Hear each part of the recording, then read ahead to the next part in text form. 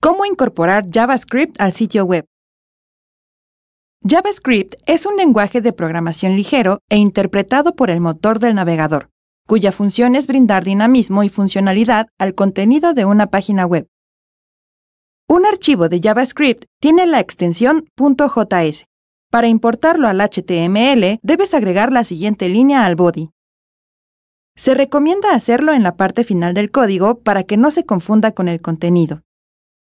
Además, el archivo .js debe estar dentro de la misma carpeta donde se aloja la página web, en una carpeta propia para brindar practicidad y orden.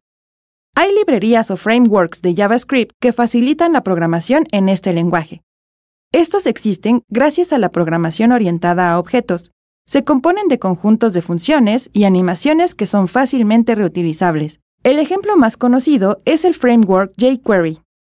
Para usarlo, debes descargar el archivo .js desde sus páginas web e importarlo en el HTML, como cualquier otro archivo de JavaScript. Otra forma de importar un archivo es usar la dirección web donde se aloja el archivo .js.